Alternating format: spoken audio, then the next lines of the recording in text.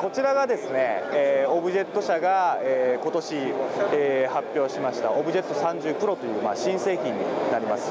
え、こちらの装置はですね今まで、え、ありましたオブジェット30の装置をですね、え、アップグレードしたあ装置となります。で30との違いはですね、え、今まで5種類の樹脂が使用可能だったものがですね今回この30プロでは7種類の樹脂が使えるようになるでその新しく追加された樹脂というのはですね、え、こちらにありますような、え、クリアな樹脂。今までオブジェット30では、えー、使えなかったそのクリア材ですね。こちらが新たに使えるようになる。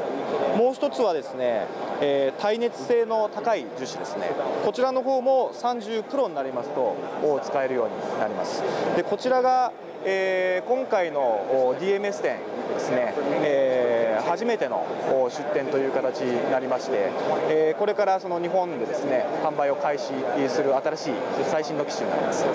こちらのオブジェットの装置はですね、えー、インクジェット方式をとっておりまして、えー、インクジェットプリンターと同じ方式ですね。でインクの代わりにですねこちらにえー、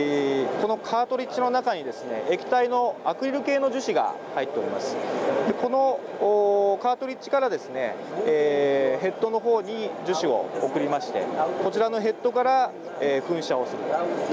で噴射をしたところを UV ライトで固めてですねまたその上に噴射をしてという形で、えー、上の方に積層していくという方式になっております、